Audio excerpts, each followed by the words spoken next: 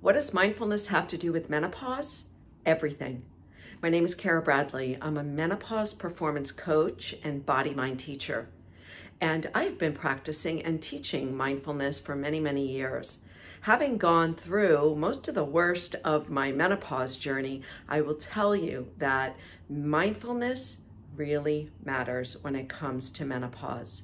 Mindfulness is simply a state of being present. It's a state of being aware of what's happening around you and in you. It's being aware of thoughts, it's being aware of emotions, of physical sensations, it's being aware of your surroundings and what other people are doing around you. Practicing mindfulness can really help you not only be aware of the changes in your body, your brain, and in your emotions during menopause, but it can also put you back in charge of seeking solutions and recognizing that this is part of this evolutionary process. It can also put you back in charge of your own health journey. So, how do we start? The first thing we need to do is to be honest with ourselves and to name how we're feeling. Becoming aware of our symptoms, both of our body and our mind.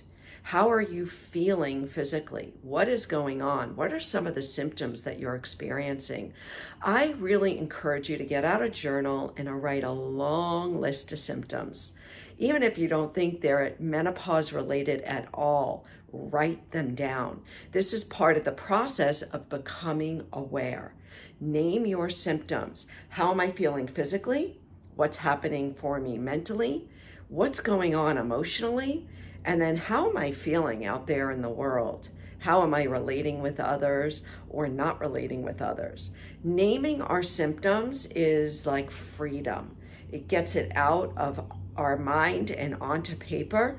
And then we can go to the second step, which is to put your hand on your heart and to acknowledge that your body and your brain are going through a massive reorganization right now during the perimenopause, menopause, and postmenopause journey. So acknowledging and and being compassionate with yourself and recognizing that you're doing the best that you can right now is a really, really big part of mindfulness. So we want to be aware and we also want to be compassionate. So those are two really important steps to practicing mindfulness during menopause. Once you're aware and you can practice compassion, it then puts you in charge to start seeking solutions. You can start to examine step by step through the list of your symptoms some of the solutions that are available to you. You likely want to seek out some support from your healthcare provider. There are lifestyle changes that you will want to change. There are also stress management practices that are so important during this time. But for so many women, if you're swimming in the symptoms of menopause, you may feel overwhelmed. So the first step is to practice mindfulness on menopause. So once again, you want to name your symptoms, give yourself some compassion, examine those symptoms, and then get into action in seeking solutions. So mindfulness and menopause go hand in hand. I hope that this was helpful. I'm happy to support you with some mindfulness practices here on my channel. And also don't forget to subscribe.